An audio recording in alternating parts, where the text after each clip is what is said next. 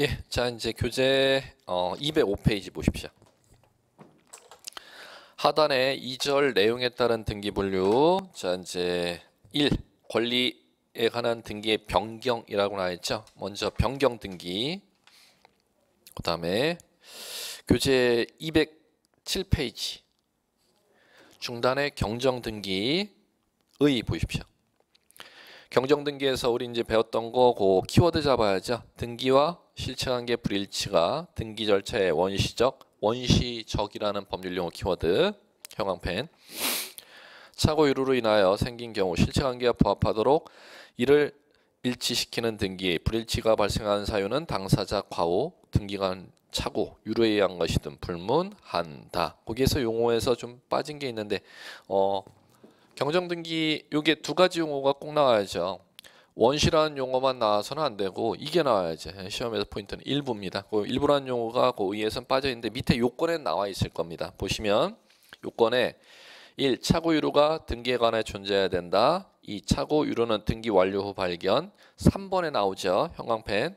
차고 유료는 등기의 일부, 등기의 일부 차, 찾으셔야겠고 그거만 찾아주시면 되겠고 그 다음에 4. 불일치가 당초의 등기 절차에 발생한 것이어야 된다. 그걸 이제 끝에 딱 메모하시면 됩니다. 원시적 그렇게 하시면 되겠고 그러면 208페이지 한번 기재를 해보십시오. 자 표제부의 부동산 표시 경정 등기 갑구의 등기 명인 표시 경정 등기 이렇게 나와 있습니다. 두 가지 기재를 한번 다 보죠. 표시번호 1번 99년 10월 1일 서울특별시 동작구 노량진동 10번지 대 500제곱미터였는데 2. 99년 11월 1일 서울특별시 동작구 노량진동 11 어, 지번 신청 정보에 지번을 잘못 표기해갖고 등기할 때 10번으로 잘못 표기가 올라갔죠. 그걸 등기 후 그걸 발견해갖고 11로 경정한 겁니다. 예, 그 다음에 등기명인 표시 경정 등기 한번 봐주십시오. 갑구에 2. 소유권 이전 등기 접수 연월일 접수번호 원인 나와 있고 권리자 보십시오. 소유자 이몽룡 주민등록번호 주소 이렇게 등기됐죠. 그러면 이의 1 부기 등기네요. 2번 등기명인 표시 경정 등기 99년 10월 20일 5673호 등기원인 신청차고 소유자가 이해룡 씨였죠. 예. 소유자가 매수인이 이해룡 씨였는데 신청 정보에 매수인 인적사항을 잘못 기재해 갖고 소유권 이전 등기할 때 그 인적사항 잘못 등기된 걸 등기 후 그걸 경정한 겁니다. 그걸 등기명인 표시 경정 등기. 거기에서는 키워드가 그거죠. 기재를 해서 순위번호 2의 1로 되어 있는 거 그걸 형광펜 치시면 되겠죠. 등기명인 표시 경정 등기 항상 부기 등기로 합니다. 예, 그 다음에 말소 등기 말소 등기 보기 전에 앞에 보시면 교재 어 206페이지로 와 보십시오. 음. 그걸 좀 말씀드려야 되는데 자 이제 하나씩 어 변경 등기 변경 등기든 경정 등기든 동일합니다. 변경 경정이 왜 동일하냐면 등기의 일부 하자 시정한다는 점에서 동일한데 원시적이냐 후발적이냐 그 차이에 따라 이제 구분이 되는 것이죠. 자 그럼 경정 변경 등기는 그 등기 분류를 어떻게 하셔야 되느냐? 표제부. 갑구 울구. 표제부의 부동산 표시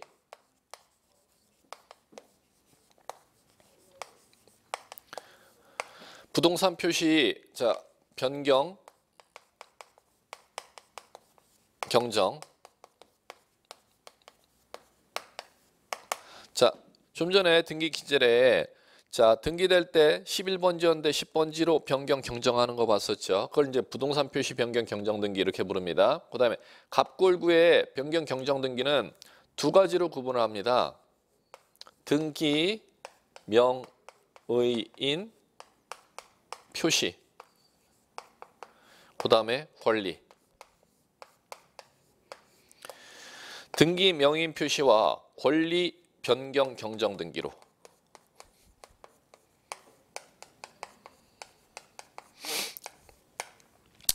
자 그러면 어, 변경 등기든 경정 등기든 몇 종류가 있는지 구분을 할 줄 아셔야 돼. 좀 교재에 복잡하게 나와 있기 때문에 지금 어, 여러분들한테 다시 정리해 드리는 겁니다. 첫 번째 요거를 기억하셔야 돼. 부동산 표시 변경 경정 등기. 두 번째 등기 명의인 표시 변경 경정 등기. 세 번째 권리의 변경 경정 등기 세 가지로 구분된다. 교재 이렇게 안 나와 있죠. 그런데 여러분들은 이렇게 정리하셔야 돼요. 그 교재 206페이지에 권리의 변경 등기 207페이지에 어 206페이지 하단에 등기 명인 표시 변경 등기 두 가지만 보시면 안 돼요. 이 두 가지는 권리에 관한 변경 갑굴구의 변경 등기만 얘기하는 것이고 표제부에 무슨 변경 등기도 있다? 부동산 표시 변경 등기도 있다는 거. 그래서 변경 등기, 경정 등기를 공부할 때는 세 가지로 구분을 해서 공부하셔야 돼요. 부동산 표시 변경 경정 등기, 등기 명인 표시 변경 경정 등기, 권리의 변경 경정 등기. 그 다음에 자, 두 번째. 자, 요거 마찬가지입니다. 요걸 등기하는 방법 정도는 정리하셔야 돼요. 자, 부동산 표시 변경 경정 등기 주등기로 합니다. 기재에서 좀 전에 봤었죠. 그다음에 등기 명의인 표시 변경 경정 등기 인적 사항 관리자의 잘못된 이름 잘못해서 어, 이름이 개명됐으면 개명된 이름이나 권리자의 주소나 권리자의 부동산 등기용 등록번호 변경 경정하는 건데 등기 명의인 표시 변경 경정 등기 요거 부기 등기로 등기합니다.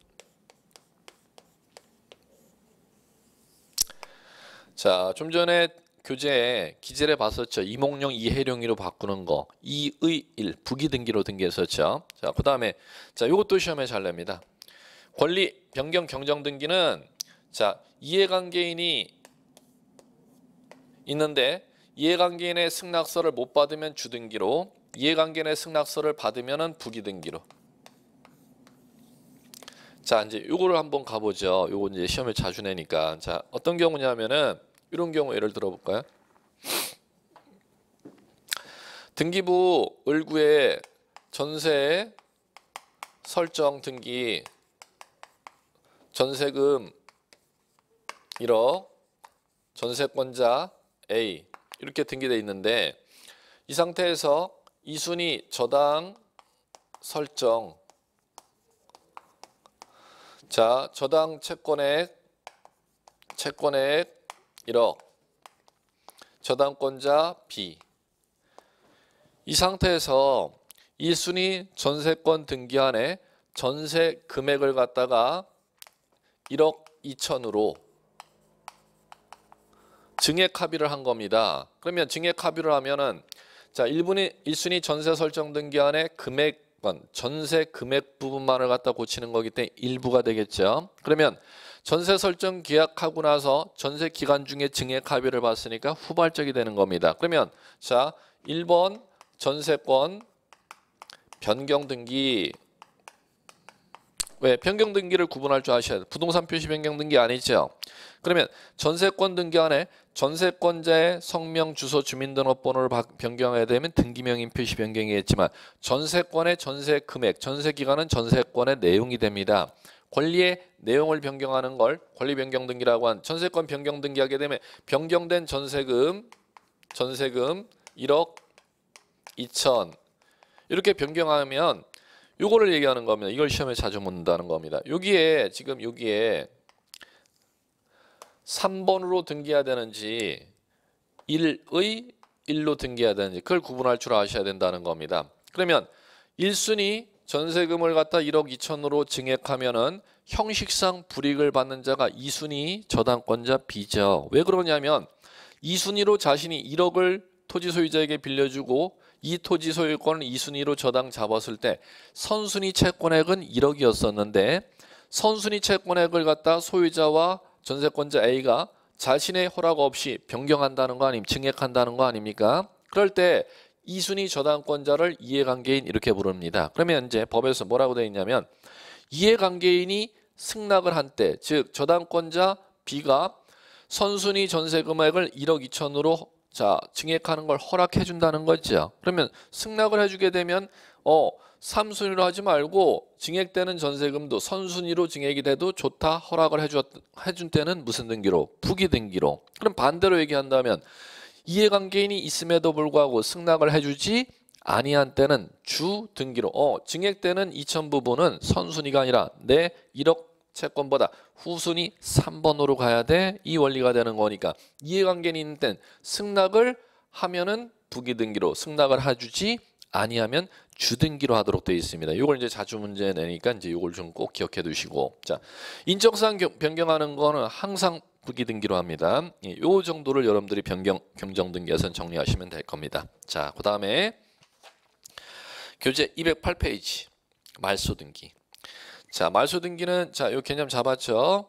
말소 등기에서는 요걸 꼭 잡아 주시라는 거 의의에서는 등기의 전부 부적법 자 이제 요걸 키워드 잡아 볼까요? 208페이지 말소 등기 양가로일 의 기존의 등기가 원시적 또는 후발적 사유로 등기사항의 전부가 전부 나왔죠 형광펜 전부 부적법하게 된 경우 실체관계와 부합하지 아니한 경우 등기 일관을 제거하여 기존의 등기 전부를 소멸시킬 목적으로 하는 등기를 말한다. 이제 나머지는 한번 이해한지 읽어볼게요. 1번 동그라미 기존 등기에 부적법한 이유는 당초의 등기 절차에서 발생한 원시적이든 후발적이든 묻지 않는다 이렇게 나왔죠. 예, 어 요 말씀드렸던 거 원시적 후발적 상관없이 전부만 부적법하다는 말소 등기의 대상 그걸 잡아주시기 바라고 동그라미 2번 볼까요? 등기 사항의 전부가 부적법한 경우 행해지는 등기다. 따라서 등기상 일부가 부적법하게 된 경우 경정 변경 등기의 대상이 될 뿐이다. 이걸 구별하라는 거죠. 등기 일부로 가면 절대 일로 크로스 말소 등기의 대상으로 가서는 안 된다. 반드시 전부가 부적법할 때는 말소, 일부가 부적법할 때는 경정 변경으로 가야 된다는 거. 그 다음에 동그라미 3. 말소 등기에 대한 말소 등기 인정되지 않는다. 그것도 형광펜 자주 등장하는 지문이죠. 따라서 불법 방법에 의해 말소된 경우라 할지라도 그 권리 회복을 위해서 말소 등기하는 것이 아니라 말소 회복 등기 방법에 의한다. 자, 그거는 이제 3번은 이해 작업 키워드 형광펜 치셨으면 이해 작업까지 하셔야 됩니다. 자, 무슨 얘기인지 한번 볼게요.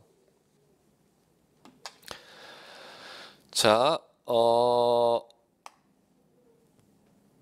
자, 1번 전세권 설정 등기 전세금 1억 A, 2번 저당 설정 등기 채권액 1억 B. 이 상태에서 3번으로 1번 전세권 말소 등기가 돼 있다는 겁니다.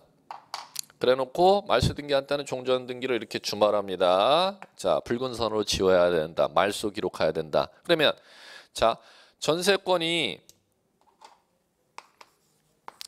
등기원인 해지를 원인으로 말소가 돼야 이 말소 금고하는 게 적법한 건데 해지가 없음에도 불구하고 이 말소 기록이 돼 있다는 겁니다. 그러면 요것을 갖다가 1번을 갖다가 다시 말소할 수 있느냐는 겁니다. 자, 불법으로 말소돼 있는 건 다시 말소할 수 없다. 자, 요 개념에서 배우셨죠, 우리. 불법으로 말소돼 있는 것은 말수, 불법 말소돼 있는 걸 다시 말소한다고 해서 다시 살아나질 아니하고 무슨 등기 방법으로 복원시키는 내외 등기를 해야 됩니다. 그럼 무슨 등기냐? 말소 회복 등기죠. 그럼 이 용어를 꼭 기억하셔야죠.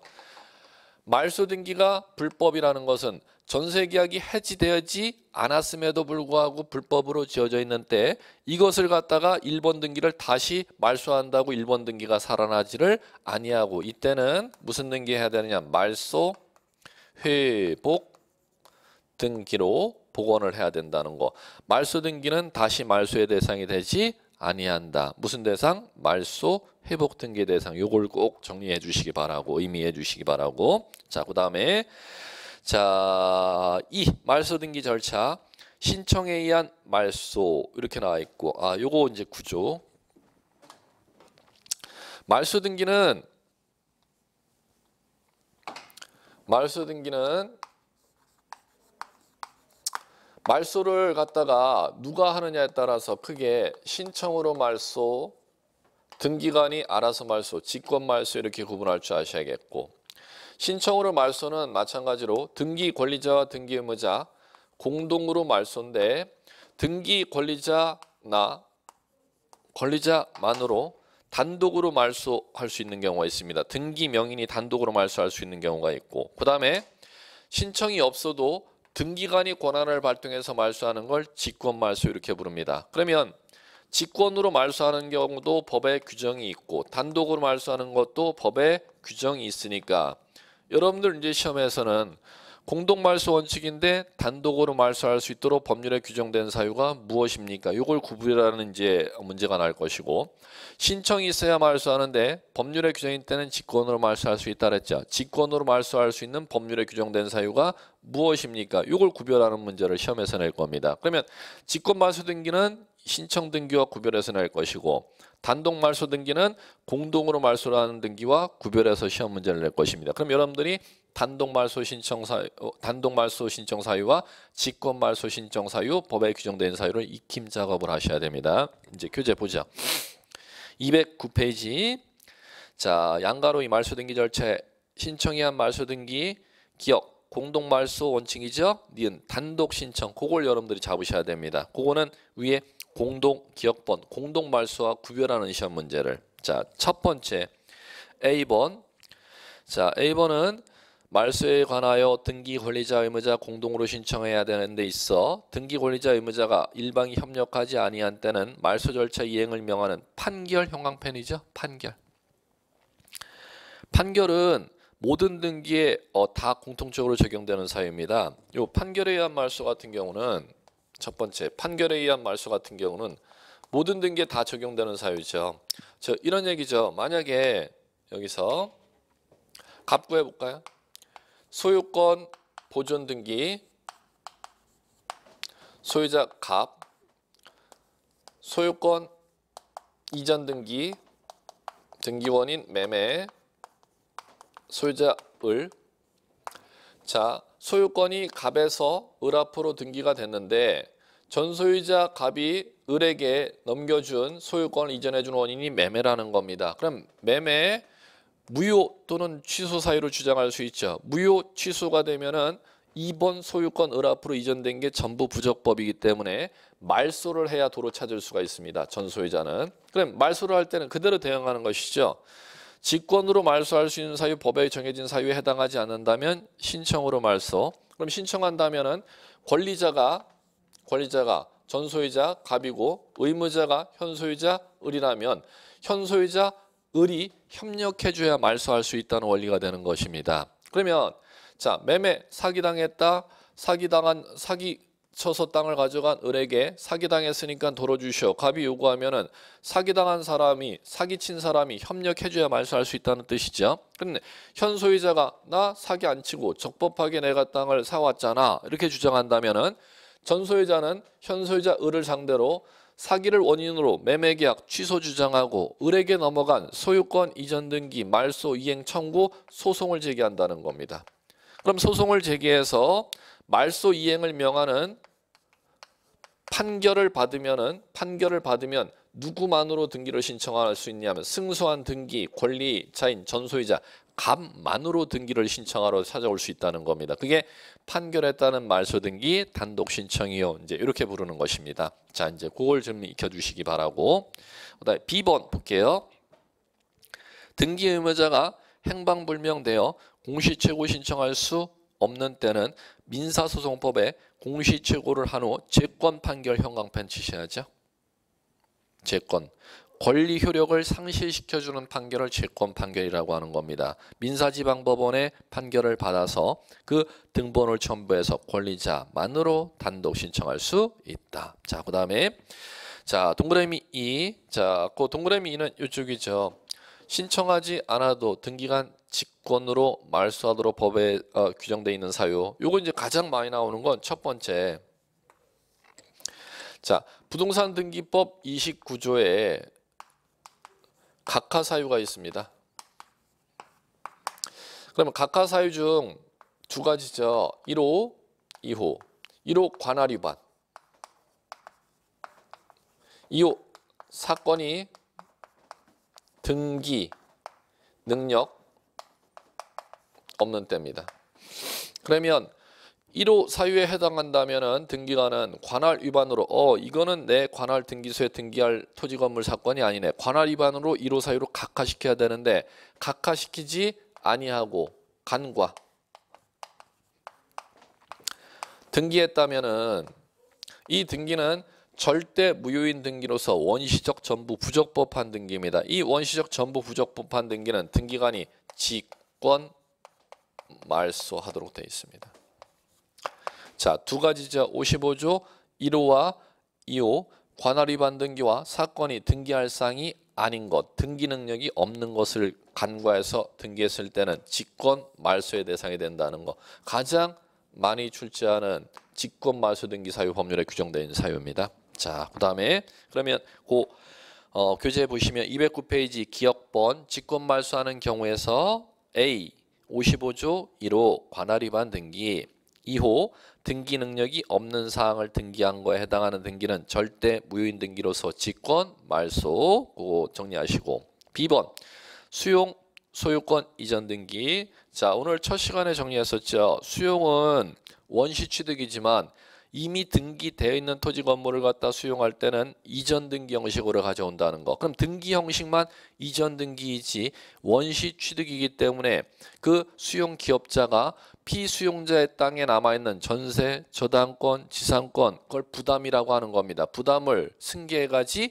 아니합니다. 그럼 승계해 가지 아니하는 부담은 등기관이 직권으로 말소하도록 되어 있습니다. 자, 거기에서 보시면 수용으로 소유권 이전 등기한 때 부동산 위에 존재하는 지역권과 재결로 존속이 인정된 권리를 제외한 소유권 이외의 권리 등기 형광펜이죠. 수용 형광펜, 소유권 이외의 권리 형광펜, 등기관 직권 말소. 단 예외는 있습니다. 두 가지 있죠.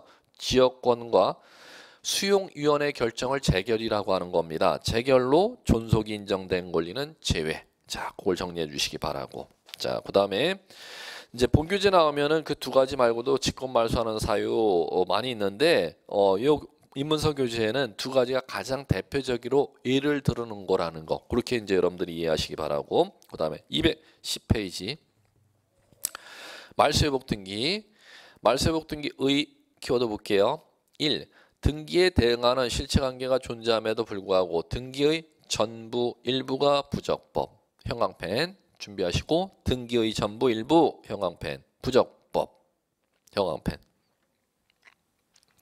말소된 경우 말소된 등기를 회복하여 처음부터 그러한 말소가 없었던 것 같은 효력을 보유할 목적으로 행해지는 등기를 말한다. 자 이제 요거는 자 말소 회복 등기는 그 의미를 갖다가 이해하는 게 말소 회복 등기의 모든 얘기입니다. 말소 회복 등기가 말소 회복 등기가 등기 전부 일부가 부적법하게 지금 말소돼 있다는 거죠. 그럼 부적법하게 말소된 등기의 전부 일부를 회복하는 겁니다. 그럼 시험에서 등기 일부가 부적법하게 말소돼 있는 경우가 어느, 어느 경우야? 등기의 전부가 부적법하게 말소돼 있는 경우가 어느 경우? 이걸 구분하는 것을 의미를 이해하셔야 된다는 겁니다. 자 두 가지를 다 예를 들어 드릴게요. 자 첫 번째는 등기의 전부가 부적법하게 말소된 거. 이거. 전세권 설정 등기 전세권자 A. 자 2번 자 1번 전세권 말소 해지 해놓고 전세 설정 등기 기록이 이렇게 지금 말소되어 있습니다. 그러면 전세 설정 계약이 해지를 원인으로 말소가 되어 있는데 해지가 되지 않았다면 이 전세 1번 설정 등기 지금 지어져 있는 게 전부가 지금 전세 설정 등기가 지금 불법으로 지어져 있죠. 그러면 이거를 갖다가 다시 살리는 것을 갖다가 전부 말소 회복 이렇게 부릅니다. 전부. 자, 그다음에 두 번째는 전세 설정 등기 그다음에 전세금 1억 전세권자 A 자, 이 상태에서 자, 1번 전세권 변경 전세금 1억 8천으로 할까요? 자, 전세권 변경 등기는 권리 변경 등기입니다. 어, 전세권 등기 안에 전세 금액을 1억에서 8천만 원으로 감액 변경했죠. 그러면 변경 등기는 이해관계인이 없을 때는 여기 나와 있네 그대로 권리 변경 등기는 부기 등기에 의한다. 그러면 1의 1로 부기로 변경하고 자 그러면 전세 금액이 8천원으로 감액되었으니까 1번 전세 등기 안에는 감액된 1-1로 부기 등기로 감액된 8천만 원이 이제 감액된 전세금이 맞으니까 1번 전세 설정 등기 안에는 전세 금액을 이렇게 지금 지워줘야겠죠. 자 그러면 이 상태에서 어 전세금 감액 사실이 없던 겁니다. 그러면 지금 전세 변경 등기에서 8천만 원으로 전세 금액이 감액 변경돼 있는 게 불법이라는 종전에 전세 설정 등기 안에 지금 1억이 지금 불법으로 지워져 있지 않습니까? 그럼 이것을 갖다가 다시 살려야 되니까 이것을 갖다가 다시 살려야 되니까 말소 회복해야죠. 그럼 말소 회복해야 되는 게 지금 이걸 보시라는 겁니다. 일부를 회복하는 건지 전부를 회복하는 건지 지금 불법으로 지금 변경된 8천만 원이 불법이라면 종전에 지워져 있는 게 전부가 지워져 있지를 아니하고 전세 금액만이 불법으로 말소돼 있죠. 그럼 이것을 회복하는 거니까 이때는 일부 말소 회복 이렇게 용어 사용하는 것이죠.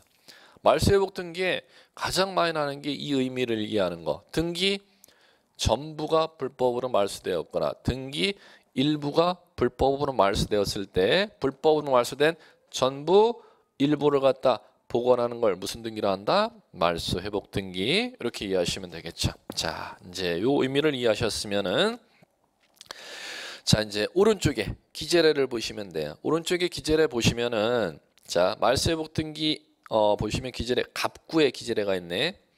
소유권에 관한 사항 순위 번호 1번 소유권 보존 생략되어 있고 2번 소유권 이전 등기죠.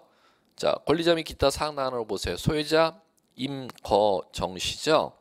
자 그러면 3번 2번 소유권 말소 매매계약 해제에 의해서 그러면 말소 말소가 2번 소유권이 말소되려면은 적법 말소라면은 매매계약 해제가 적법해야 그 말소가 적법인데 매매계약 해제가 되지 아니었던 겁니다. 그럼 해제 사실이 없었다면은 2번의 임거정의 소유권 이전 등기가 지금 불법으로 말소된 거 아닙니까? 그걸 갖다 살리면은 2번 등기를 갖다가 일부를 살리는 게 아니라 전부를 살리는 거니까 이것은 전부 말소 회복 등기가 되겠죠. 이렇게 이제 이해하시면 됩니다. 자, 그다음에 이제 교재 넘겨 보십시오. 212페이지.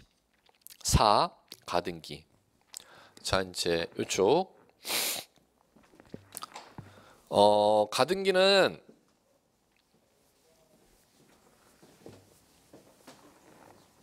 자 이렇게 가셔야 돼요. 지금까지 교재에 봤던 게자 내용에 따른 분류, 기입 등기, 보존 설정 이전, 자 그다음 종전 등기, 하자 고치는 내용의 등기, 경정, 변경, 말소, 불법 말소되는 거 살리는 내용의 등기, 말소 회복 등기, 부동산이 전부 멸실됐을 때 하는 등기, 교재 없었죠 멸실 등기 이것도 있습니다.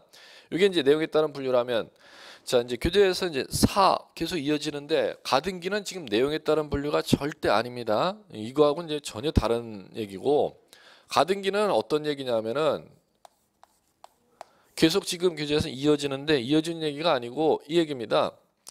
등기가 있으면 등기가 어떤 효력을 발생하느냐는 겁니다. 그러면 등기 효력에 따라서 등기를 이렇게 구분합니다. 두 가지로 종국 등기, 일반 등기라고도 합니다. 그 다음에 예비 등기.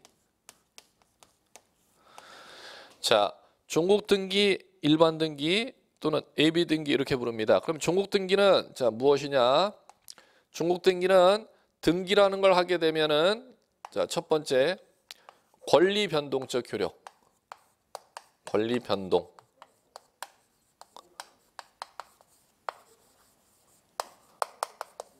그 다음에 순위 확정력 순위 확정력 그 다음에 자 추정력 기타 등등등등 있습니다. 자, 그러면 등기를 하게 되면은 자, 인정되는 법적 효력, 력, 력, 힘력자 아닙니까? 법적 효력을 인정해 주는 등기를 갖다가 종국 등기 이렇게 부르면 자, 이 법적 효력을 인정해 주지 아니하는 등기를 갖다 예비 등기라 부릅니다. 그 예비 등기에 해당하는 게 가등기입니다. 자, 그러면은 자, 보십시오. 이거와 종국 등기와 예비 등기를 변별할 줄 아셔야 되겠고 지금 가등기라는 건 이 내용하고는 전혀 상관이 없이 등기라는 걸 하면 어떤 법적 효력이 인정해 주느냐에 따라 등기를 종국 등기와 예비 등기로 분류하는데 일반 등기가 모두 다 종국 등기, 종국 등기에 속합니다. 그러면 일반 등기에 속하지 않는 예비 등기가 딱 현행법에는 딱 하나가 있습니다. 가등기입니다. 자, 그러면 이제 이거와 이걸 구별을 한번 해볼게요. 갑구에 등기부 갑구에 1번 소유권 보존 등기 이렇게 등기됐습니다. 그 다음에 소유자 갑. 자 등기라는 걸 하게 되면 소유권 보존 등기하면 자 보존 등기는 최초 소유권을 갖다 기입한 게 소유권 보존 등기인데 소유권 보존 등기하게 되면 최초 소유자는 갑일 것이라고 추측을 시켜줍니다. 그러면 소유권 보존 등기가 효력에 따라 무슨 등기요 이렇게 하면 여러분들은 대답할 줄 아셔야 됩니다. 일반 등기 종국 등기입니다. 보존 등기하게 되면 갑을 최초 소유자라고 추측을 시켜주는 추정력이라는 걸 인정해 주니까 이렇게 이제 대답할 줄 아시면 되겠고 그 다음에 소유권 보존 등기 갑이 하게 되면 순위 확정된다는 건 1순위로 순위가 확정되는 법적 효력이 인정됩니다. 그래서 소유권 보존 등기를 종국 등기 이제 이렇게 부릅니다. 이제 하나 더 해볼게요. 만약에 2번 소유권 이전 등기 이렇게 등기하고 매매 이전 받은 소유자을 이렇게 등기했습니다. 그러면 자 이제 두 번째도 등기가 끝마쳐졌습니다. 그러면 등기하면은 소유권 이전 등기는 어떤 소유권 이전 등기는 효력에 따라 무슨 등기요 하면은 대답할 줄 아셔야 됩니다. 소유권 이전 등기는 종국 등기요 이렇게 대답할 줄 아시면 됩니다. 왜 그런 거 하니? 자, 소유권 이전 등기 하면은 소유권 이전 등기한 사유가 매매지 않습니까? 그럼 민법 186조에 매매는 법률 행위고 법률 행위로 토지, 건물, 부동산, 물권 변동, 소유권 이전이 물권 변동이죠. 권리 변동은 등기를 하여야 권리 변동의 효력을 인정해 준다. 이렇게 되어 있습니다. 그러면 매수인 을은 등기함으로써 매도인의 소유권이 매수인 앞으로 이전되는 법적 효력을 권리 변동적 효력, 물권 변동적 효력 이렇게 용어를 사용합니다. 물권 변동적 효력을 인정해 주기 때문에 소유권 이전 등기, 종국 등기입니다. 이렇게 대답하시면 되겠고 또는 소유권 이전 등기하면 이 순위로 순위 확정됐죠? 소유권 이전 등기 의리하면 적법한 매매에 의해서 매수인 을이 적법하게 이전 받아왔을 것이라고 추정되는 법적 효력도 인정됩니다. 그렇기 때문에 소유권 이전 등기가 종국 등기입니다. 그러면 권리 변동적 효력, 순위 확정력, 추정력 등기하게 되면은 법에서 인정해준 어느 하나의 효력을 인정해주는 것을 갖다가 종국 등기, 일반 등기 이렇게 부르는 것이고 여러분들이 등기소에 등기하러 가는 이유가 이 종국 등기의 법적 효력을 인정받기 위해서 등기하러 가는 거기 때문에 모든 등기가 다 종국 등기라고 생각하시면 됩니다. 그 중에서 뭐만 제외하고 냐면 가등기만 제외하고. 예. 그러면 가등기는 뭐냐? 자 이제 교재 보시면은 음, 이 얘기를 조금 다른 측면으로 써놨는데 자 볼게요. 212페이지 의 동그라미 1 가등기란 장래 부동산 물권 변동을 일어나게 할 청구권을 보존하기 위하여 행해지는 것과 채권 담보라는 경제적 목적을 달성하기 위해서 가등기 형식으로 이용하는 것이 있다. 전자를 일반 가등기라 하여 순위 보존의 효력을 가질 뿐이나 후자는 담보 가등기라 하여 담보권에 준하는 경매 신청권과 우선 변제권 같은 실체적 효력이 있다. 이렇게 나왔습니다. 음, 논지를 지금 흐트리는데 자 무슨 얘기인지 볼게요.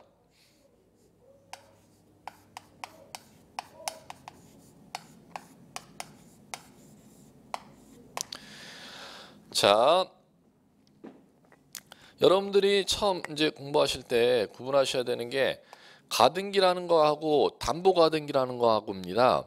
가등기라는 것은 지금 저와 함께 다루는 부동산 등기법에서 다루는 이제 가등기고 담보가등기는 이제 저 제가 이걸 다뤄드리지는 못하고 이제 민법 시간에 이제 이걸 다룰 겁니다. 이걸 이제 다루는 민사특별법이 가등기 담보에 관한 법률입니다. 그러면 가등기 담보에 관한 법률에서 다루는 이 담보가등기는 예비 등기가 아니고 이건 종국 등기입니다.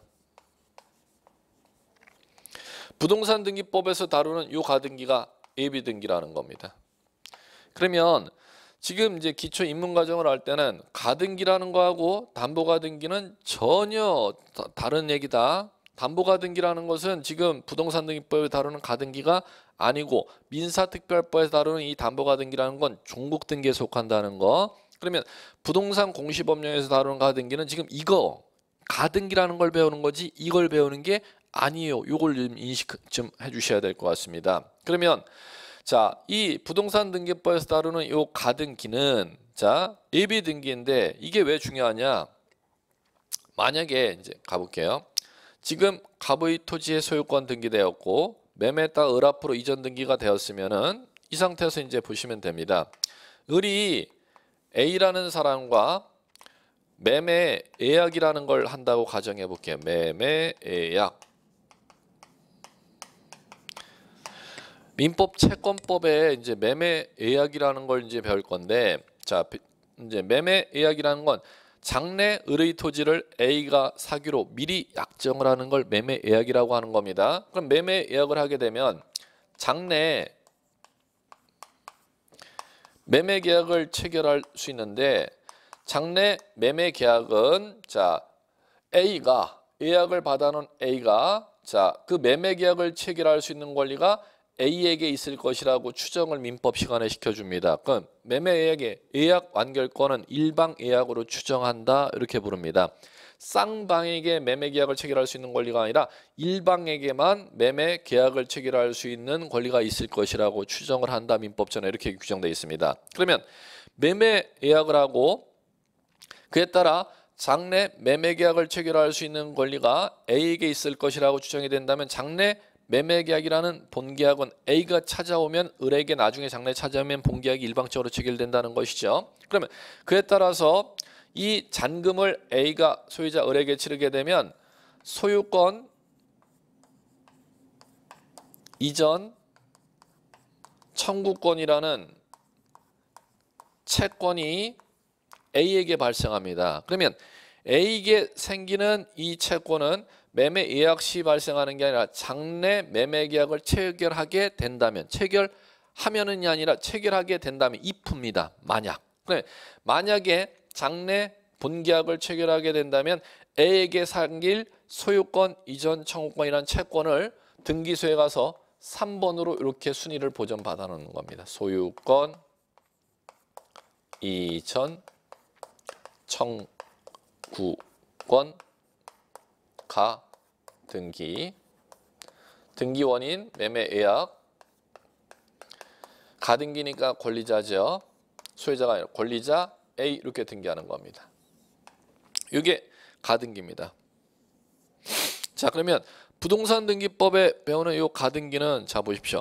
소유권 이전 청구권 가등기 등기배 이렇게 올라가는데 소유권 이전 청구권이라는 채권이 가등기 한순간 생기는 게 아니죠. 나중에 장래에 생길지도 모를 채권 아닙니까?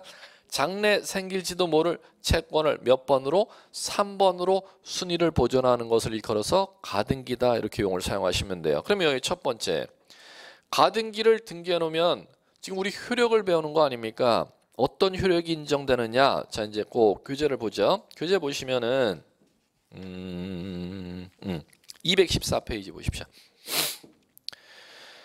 양가로 5 가등기의 효력 순위 보전의 효력 이렇게 나와 있죠. 자 그래 놓고 가등기는 본등기를 했을 때 확정될 순위를 미리 보전하는 효력을 가진다. 그거만 미리 장래 본등기 했을 때 확정될 순위를 미리 보전하는 효력. 자 이제 이렇게 하고 시험에서는 이렇게 낸다는 겁니다. 그러면 가등기 자체만으로서는 종국 등기에서 부여해주는 이 법적 효력을 인정해주지 아니한다는 것이죠. 그러면 이제 시험에서는 음, 시험을 출제하는 분이 크로스로 문장을 낼 겁니다.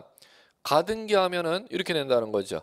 권리 변동적 효력이 인정된다. 이러면 여러분들 X 틀려요 이렇게 인식하셔야겠고 가등기에 놓으면 순위가 3번으로 확정되는 효력이 있다가 아니라 3번으로 확정되는 건 장래 본등기를 해야 확정되는 거지 가등기 자체만으로 3번이 확정되는 건 아닙니다. 그럼 순위 확정적 효력도 없다. 그러면 가등기는 추정력이 있다면 뭐 이거 하나하나 제가 소개하는 게 시험 기출에서 세 번 이상 등장한 얘기들입니다. 자 보시면 소유권 이전 청구권 가등기를 A가 등기해놨다는 거죠. 추정력이란 을의 토지에 A가 가등기를 하면은 이 을의 토지 소유권을 가등기권자가 장래 이전받아갈 권리가 가등기권자에게 있을 것이라고 추정이 된다라는 얘기입니다. 그 얘기가 100% X라는 겁니다.